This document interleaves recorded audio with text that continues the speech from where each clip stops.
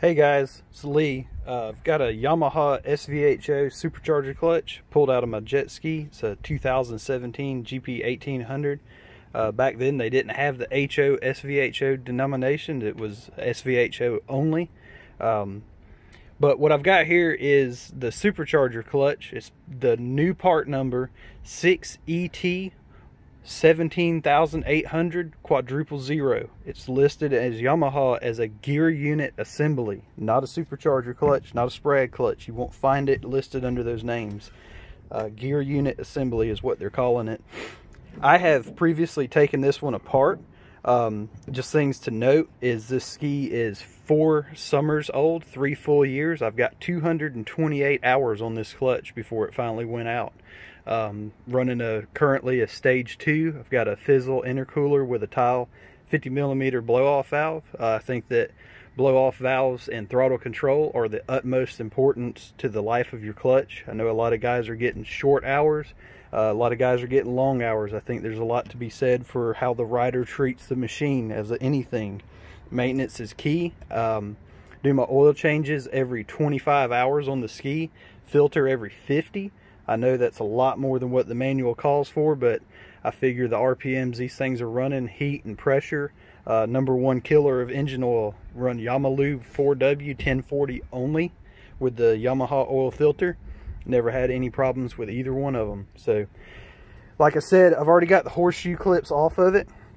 Um, I don't know the technical names of the internals of this clutch, so I'm just going to leave it basic, and I'll call it the inner race, outer race, sprag, and ball bearing. If you guys know the names of it, if you know the different parts, let me know. I've always loved to learn. Uh, I'm not opposed to correction. A wise man loves correction, as I've come to know, so it's good stuff. Um, but what I've got here, I've taken it apart and it basically, this clutch is going to disassemble into about five different pieces. Uh, this is considered non-serviceable. The older clutches, I know a lot of guys had rebuild kits for them. Uh, I've seen people recently asking about just getting the sprag and replacing it. Um, as many times you've seen me post on the internet, I'm not going to say you can't do it and that it wouldn't work. I'm going to say I wouldn't recommend it and I want to show you why um, and also to give you a little insight into how this guy works. So essentially a sprag is nothing more than a one-way clutch. I'm going to pull this bearing off of here to get my hands a little more freed up. Uh, what you've got here is just essentially a roller bearing. This keeps your inner and outer races uh, separate from one another. This is what gives you your rolling ro rotation uh, without bind here. So this clutch, I think I've already got it locked up here, unfortunately. But so you take the bearing out, you've got back here a backing plate, which is this guy here. Um, just knock it out real quick. So this backing plate here, uh, you see some wear, some movement on this guy. Uh, I'll post some still images of this stuff. I don't know how well this phone's going to focus on it while I'm trying to show you here. But anyway, this, this guy just keeps your sprag back here, which is down inside of it, securely locked in place. Um, so what I've got it broken down to now is three pieces. Again, don't know the technical names. I'm calling it inner race uh, or drive. This comes directly off of your crankshaft. Your crankshaft input is going to be right here. That's going to be your bolt that's torqued to 59 foot-pounds that you see in your instructions. You've got input drive to the splines here. This inner race via back here you can see the sprags kind of hidden up underneath there. Uh, and when this guy is assembled uh, he sits in the ski pretty much is going to look about like that so you're not going to see much. But so essentially uh, is a series of 24 this is 24 sprags in here. I've counted them it's 24 they look like a dog bone. Uh, it's a one-way clutch is what it is. It's a drive unit that as your centrifugal force so your crankshaft here, you're going to be turning this way. You'd be running, uh, if you're sitting on the ski clockwise, if you're facing the front of the ski from the, uh, say where the gas tank is, you'd be counterclockwise. Depends on how you want to look at it.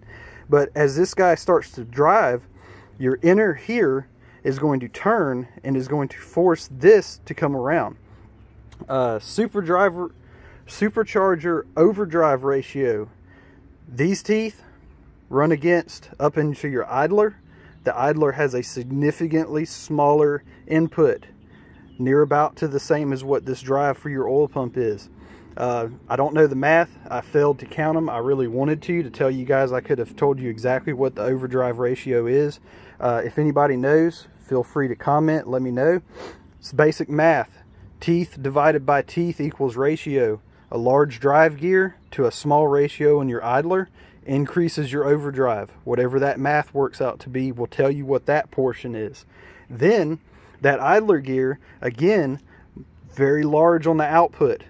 It goes very large output to a very small drive. This drive here obviously is the clutch, but assimilated up into the supercharger, same situation. You have a double overdrive. This ratio to the idler, the idler to the supercharger. That's the shaft speed, which is what your RPM on your engine drives that shaft speed to the supercharger, which is what builds your boost. I don't know exactly what it is. I've been told. I think it's about seven or eight to one, somewhere in that range.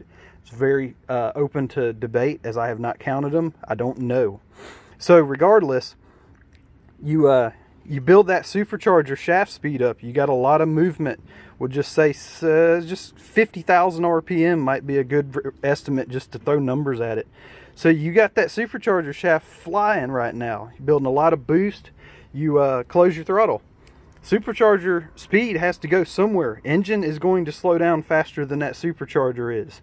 The engine has four cylinders under compression uh, you're going to lose that pressure. You're going to lose your fuel and your spark. You're going to deadhead against compression. It's going to immediately drop the engine RPM very, very quickly. Supercharger's only pushing against air. Air compresses. You compress it, it's got to scrub that speed some way or another. So that's your differential here. Your engine now slows down your supercharger, this thing's heavy too. This is about a pound and a half right here when it's fully assembled. Your idler gear is probably six to seven ounces. And then your supercharger shaft and wheel, a few more ounces there. You've got a lot of inertia going here. So what happens, this guy slows down. As he slows down in the crank, again, it's driven by teeth. There's no slippage here.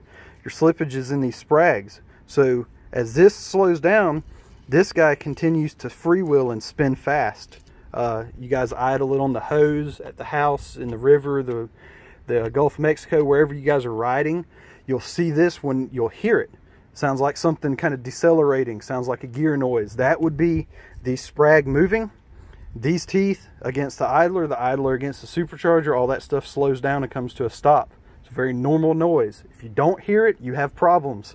Check your ski. Something's wrong at that point. So you decelerate your input.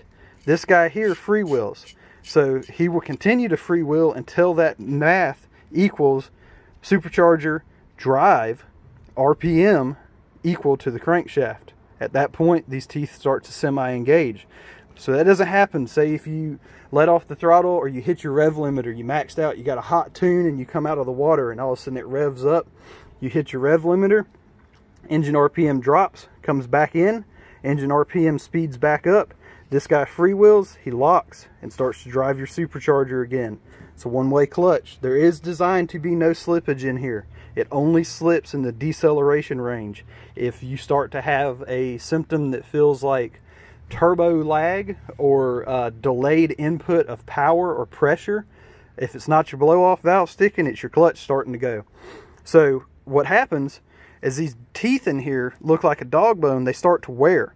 And as you can see now, now it's out of the ski and it's the, the pressures tell the truth. This thing still locks up pretty quick. It looks good, but I'm telling you guys, you put it in that ski.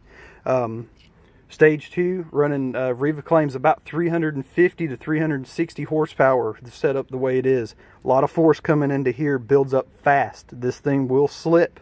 And what happens is these dog bones that you see, is actually they will flip the other direction because the ends get worn off of them and your inner to outer I'm sorry your inner to outer race clearance doesn't change. The edges of these teeth wear off and they actually break past even and allow it to freewheel forward. That's when you lose your boost.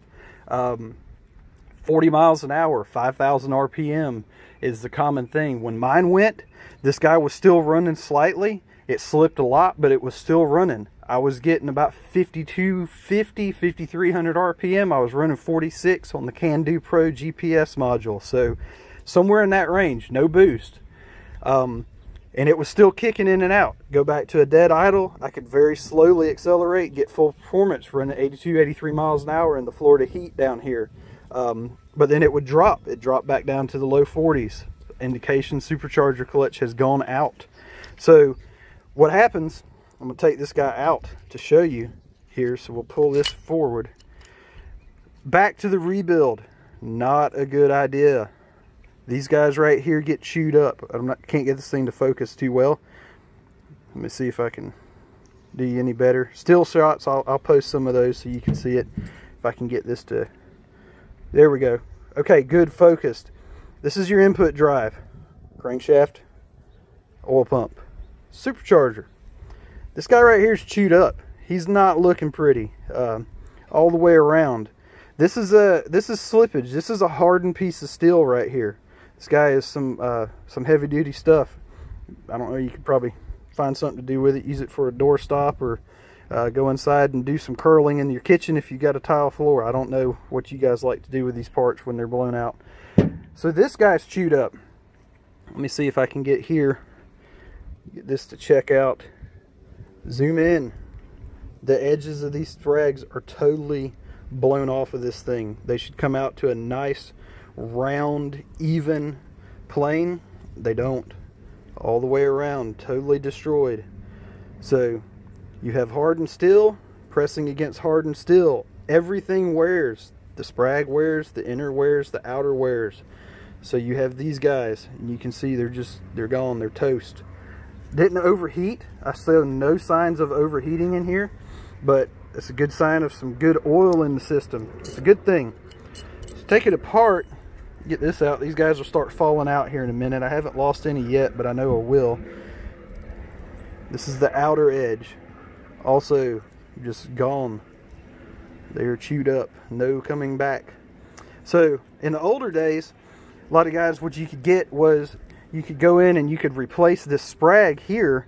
And sometimes I believe it was the inner portion would get replaced. The outer portion also.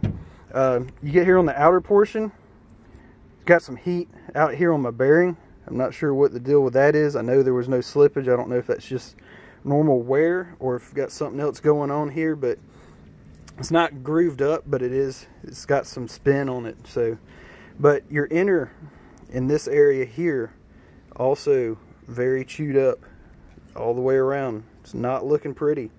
So I've seen a couple posts lately, guys talking about um, wanting to get in here and and just replace just the sprag only.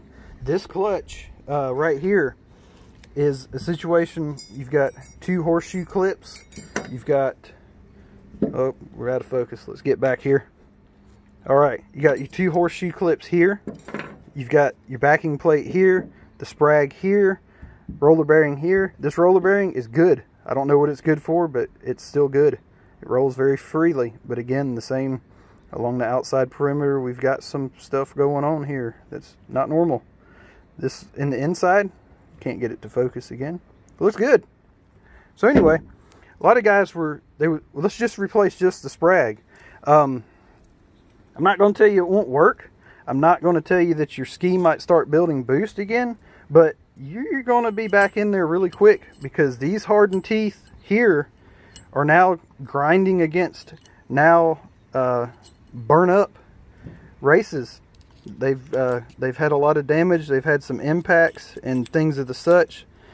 So we'll get these pushed back in here preferably and pop this guy back together. Maybe. It's going to fight me now. Let's see if I can get this in here. Well, she's not playing nice with me. So let's try it another way. I had luck with this earlier. If I could get the inner into there. But anyway, it's not going to work. I'm not going to sit here and fight it on the video. You guys saw it come apart. You know how it goes back together. Anyway, if you were to replace simply the innards of this, leaving your outer and your drive, and replace just that sprag, uh, you're going to be back in there real quick. It's not worth it. Um, I bought my clutch pwcmuscle.com. Big shout out to Greg Hall, Joe, the guys down there. Got my parts out quick. Um, they're great guys. I've bought a lot of my upgraded performance parts from them. Highly recommend them.